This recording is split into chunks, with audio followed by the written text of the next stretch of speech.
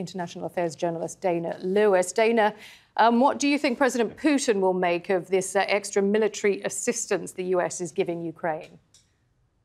You know, I think he is becoming increasingly angry, angry and outwardly so, and frustrated.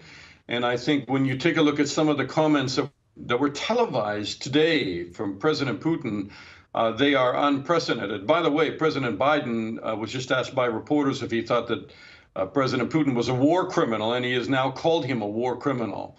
Um, President Putin uh, has has characterized all of this uh, not as the West would see it as a defense of Ukraine, but he sees it as an attack on Russia. He sees it as he used words today like an economic blitzkrieg to talk about the economic sanctions. And that's really important language in Russia. This is a country that fought the Germans in World War II and lost 30 million people. So any parallels with the denazification of Ukraine or economic sanctions being a blitzkrieg, you know, call up echoes of the past and the Great War for Russians. And Putin uses it for some effect because he's obviously concerned about his domestic audience in Russia and how people now view increasingly the images that they are able to see on social media of these attacks in Ukraine on cities in a very negative way, and some of them seeing it with anger. Um, you know, he, he said today that Western sanctions have one aim the destruction of Russia. All of this, President Putin's war which he launched in Ukraine, he is saying that this is all about the destruction of Russia and that he is defending Russia. And he, he said the West dropped its mask of civility and began to act belligerently. It begs comparison, and I'm quoting here it begs comparison to the anti Semitic pogroms of the Nazis, he said. So, I mean, some very unusual and angry language from President Putin, who was actually almost having trouble catching his breath today um, as he seemed to go off script and rant about the West and its support for the for Ukraine. So strong rhetoric coming from Putin, but there has been some mention of a breakthrough in talks between Russia and Ukraine, a 15-point plan to try to bring an end to the conflict. What do you make of that? Is that too optimistic?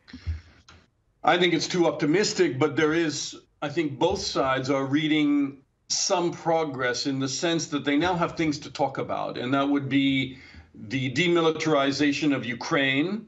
Uh, but Ukraine also sees that with a caveat that they would still be able to maintain an army uh, and navy, but there would be no outside forces in there.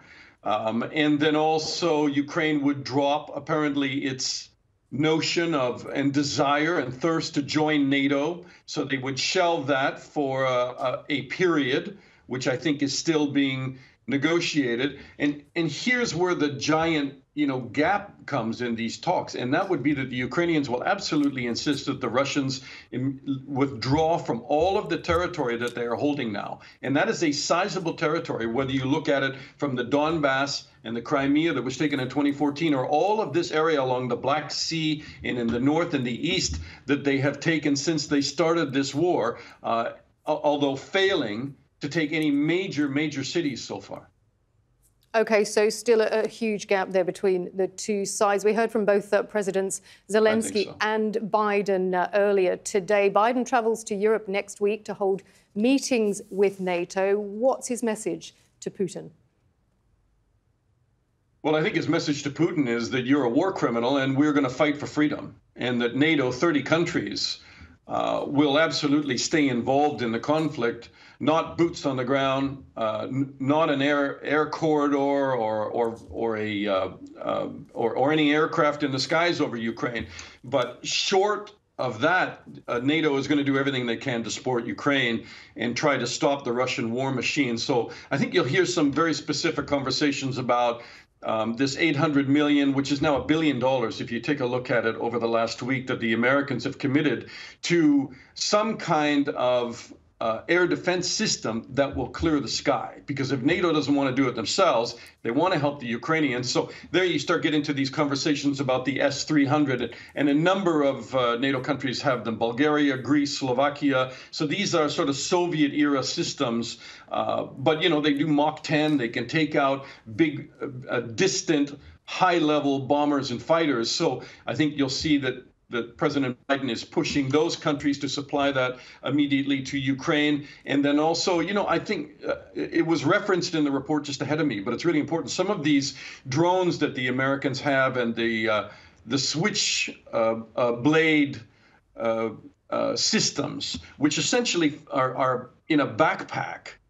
they are fired from a tube very easily in the field and then they go out into the field and the the switchblade 300 and then there's a 600 uh, they loiter and they can take out personnel on the ground and they can also uh, take out tanks and armor. And that's really been the, the big problem right now because the ukrainians can defend the cities but in terms of going after this artillery that's hitting them from you know 18 20 miles away that's that's posed another problem. So, so some of the equipment uh, that is coming through with with each nato meeting and each NATO effort is very important. And I think you'll also see this conversation on the table about the MiGs that uh, Poland might uh, give to the Ukrainians to fly on their own, these 28 MiGs that originally they were going to push through Ramstein Air Base. Uh, and then the, the Americans said, no, we, we don't want to be seen to be flying missions against uh, Russian aircraft from a, an American NATO base or from a NATO base anywhere for that matter. I think that that those planes are still on the table. And by the way, President Biden will just not meet with NATO, but I think he'll also possibly depending on security, see him in Poland meeting with refugees and, and really uh, appearing as the leader of the free world in this.